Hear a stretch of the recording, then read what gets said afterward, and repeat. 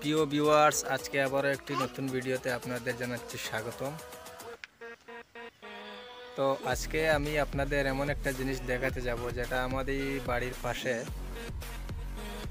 সেটা হলো মৌমাছির বাসা। অনেকগুলা মৌমাছির বাসা আছে যা আমি আপনাদেরকে আজকে দেখাবো আমার ব্লগ ভিডিওর মাধ্যমে। যদি মৌমাছির বাসাগুলো দেখতে ভালো লাগে তাহলে আমার চ্যানেলটা অবশ্যই সাবস্ক্রাইব করবেন আমাকে।